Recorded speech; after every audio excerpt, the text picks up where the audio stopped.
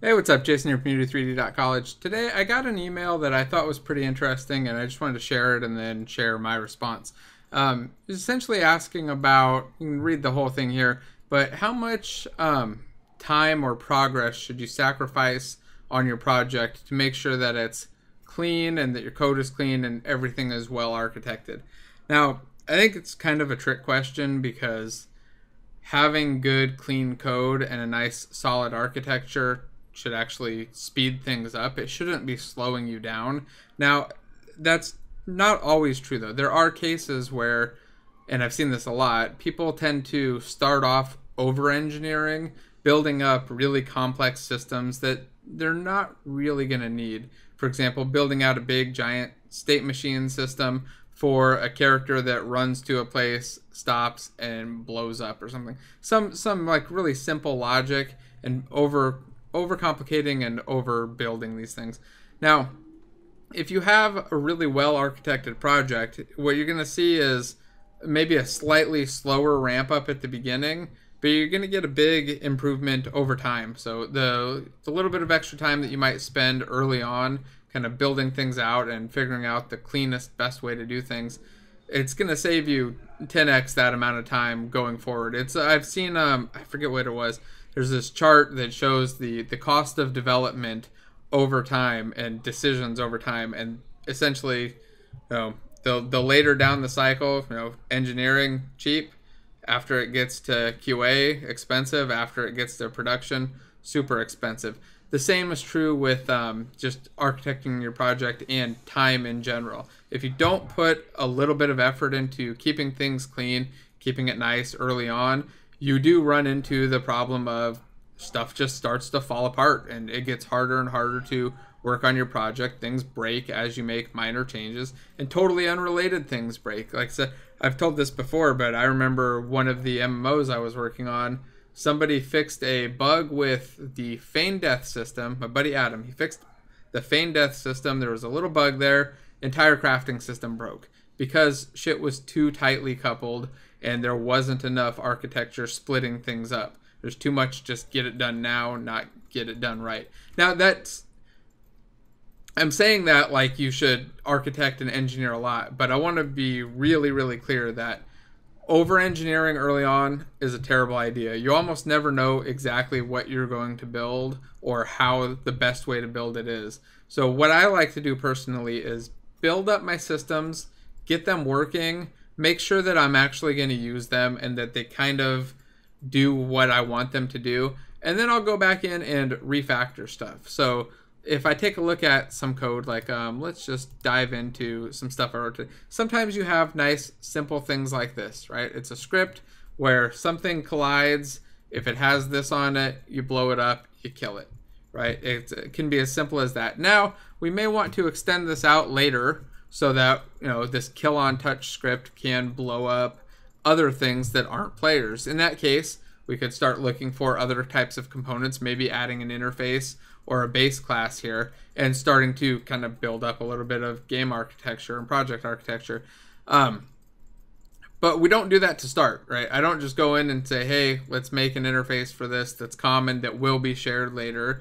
First start off with the correct way, the way that works and then as we need the the extra functionality start refactoring and changing things. Eventually stuff can get complicated right? Like i've got some more advanced code like this where we're using generics and lots of interfaces. Um, there's multiple levels of inheritance here so that we can simplify things further down the road. So like for instance this class right here it may seem like hey what is all this crap up here. It's all there to make it so that when I want to implement a new, this is an ability effect, when I want to implement a new one, I only have to write a tiny little bit of code. I don't have to copy and paste stuff. I don't have to go write up a bunch of boilerplate crap. I just go in, I do the one or two little tiny things that I need to do, and then it works. And this is the benefit of good project architecture.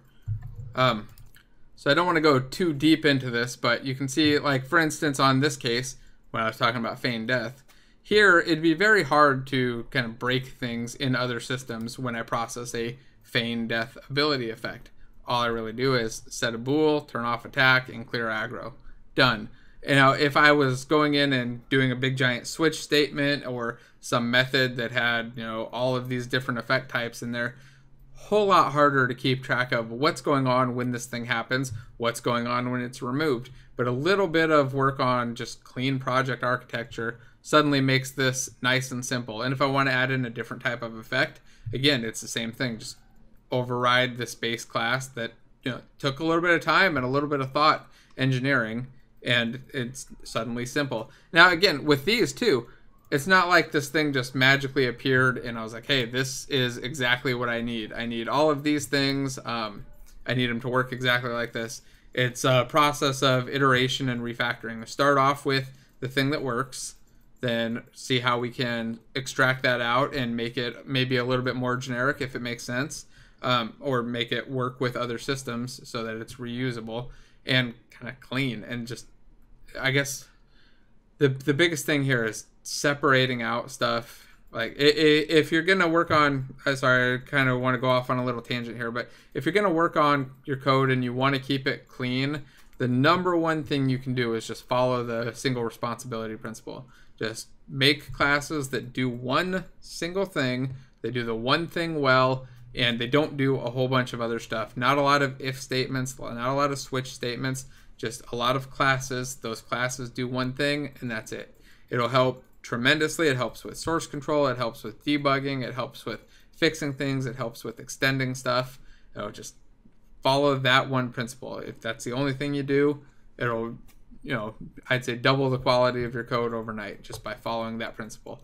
Now, again, don't over-engineer. Don't uh, don't start complicated. Don't build out. You know, if you want to build a game make the game work first. Make the core parts work. Make sure that it's fun. Make sure that you're going to actually keep working on it. You're going to finish it.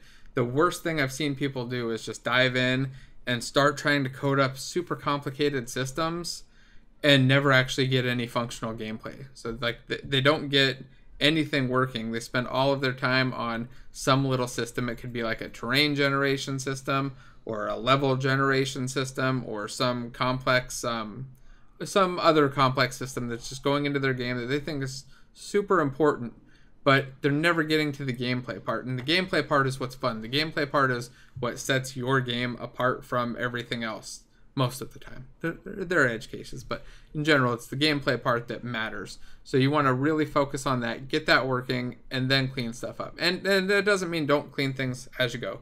You know, obviously, keep cleaning things as you go. Follow some sane patterns, name things right. Don't create giant methods, and ideally follow the single responsibility principle. That alone will make it so your code's clean. You don't have to do that much more to really have good quality stuff. Um, if you've got thoughts on this, though, drop them below. Uh, please feel free. Let me know. I'm always interested in seeing how other people's workflow is personally in my experience i've seen a lot of other senior developers do kind of the same thing where they get stuff working and then fix it up refactor it make it pretty make it nice. And i think that's kind of the way to go. Anyway thanks for watching. Um, if you like this stuff or any of the other videos please subscribe share with your friends and hit thumbs up and all that stuff. All right thanks again